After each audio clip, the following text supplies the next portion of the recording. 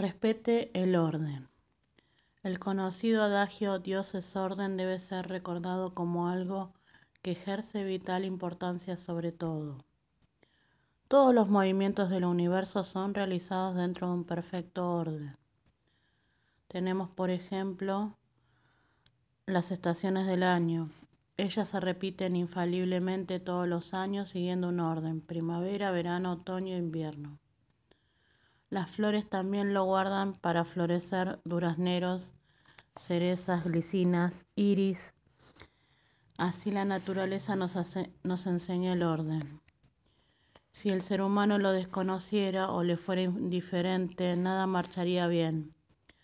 Los problemas serían frecuentes y resultaría el caos. Sin embargo, la mayoría de los hombres no han respetado hasta hoy y eso es disculpable porque no ha existido quien les enseñe este principio.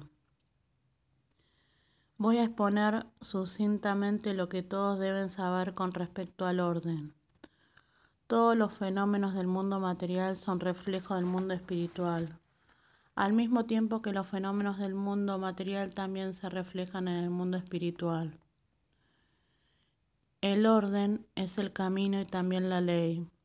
Perturbarlos significa desviar el sendero, violar la ley y faltar a la sociabilidad. En la vida cotidiana existe un orden que se debe respetar, ya que las acciones difieren entre los miembros de una familia. Por ejemplo, para sentarnos en una sala japonesa debemos considerar la parte preferencial, donde se colocan los objetos de ornamento como el lugar de honor. A la falta de la sala, el sitio de honor es el más alejado de la entrada. Cuando los miembros de una familia ocupan los debidos lugares, el padre próximo al de honor, después la madre, el primogénito, el segundo, etc., se crea un ambiente armonioso. Si no se respeta la ley, no traerá buenas consecuencias aún en un régimen democrático. Supongamos un puente que da paso solo a una persona cada vez. Si un grupo intenta atravesarlo al mismo tiempo, se desconcertarán y se precipitarán todos al río. Como es absolutamente necesario que pasen, pero de a uno por vez, surge la necesidad del orden. Otro ejemplo cuando recibimos visitas. Las sillas y los lugares varían de acuerdo con el grado de amistad y de posición. Sucede lo mismo con los saludos. Si esto se tiene en cuenta, todo marchará en perfecta armonía y causará impresiones agradables. También hay diferencia de actitudes y conversaciones entre los jóvenes, ancianos y niños. Lo esencial consiste en dejar siempre buena impresión al prójimo. En muchas familias, los padres duermen en las habitaciones de la planta baja y reservan los altos para los hijos y empleados. Esto es un error, así se vuelven desobedientes. También la esposa dejará de ser dócil y sumisa cuando duerme más próxima al lugar de honor que el marido. Cuando se construye el altar en un primer piso y se duerme en un piso superior, se está colocando a Dios debajo del hombre. Es preferible no instalarlo porque además de impedir las gracias, es una ofensa al Creador. Lo mismo sucede con el altar de los antepasados. Será un agravio ubicar a los descendientes encima de los ancestros. Esto es porque los fenómenos terrestres se reflejan en el mundo espiritual y se destruye la armonía que debe ser mantenida entre los dos mundos. Este principio se aplica también al país y a la sociedad.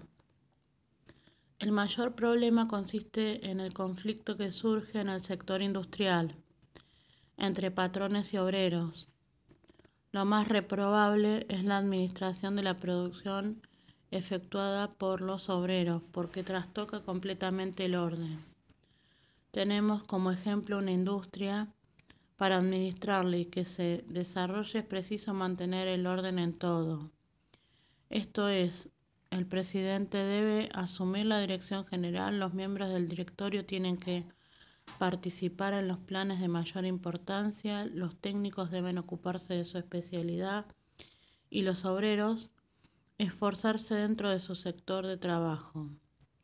Si todos se unieran así en forma de pirámide, la empresa no dejará de prosperar.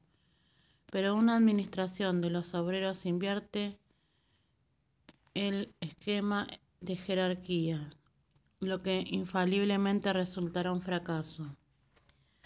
Así, el conflicto entre los patrones y obreros causa la destrucción de ambas clases, lo que no tiene ningún sentido. Es necesario, por lo tanto, que la administración sea pacífica, mediante el entendimiento entre las dos partes y respetando el orden. No hay otro medio para establecer la felicidad en este ámbito. Creo que el primer paso a la prosperidad consiste en distinguir la desagradable palabra conflicto del mundo industrial.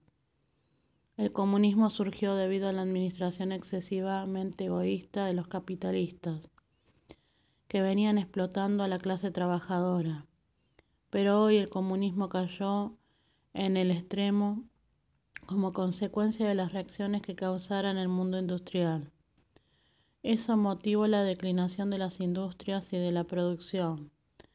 Espero que tomen conciencia de eso cuanto antes y deseo que despierten el espíritu de ayuda mutua y se esfuercen en la construcción de un mundo nuevo. Ese es el sentido de mis palabras respeto al orden. La realización de actividades fue siempre conocida por el término Keirin Administrar, que en última instancia significa girar la rueda. Los líderes corresponden al eje de una rueda, cuanto más gira rápido, el eje se mueve menos. La rueda gira menos cuanto más cerca de, se encuentra del eje y viceversa. Naturalmente, cuando vibra el eje, todo su movimiento encuentra dificultades. Lo expuesto significa lo siguiente, el centro del eje es ocupado por la minoría y los números aumentan a medida que se va alejando de él.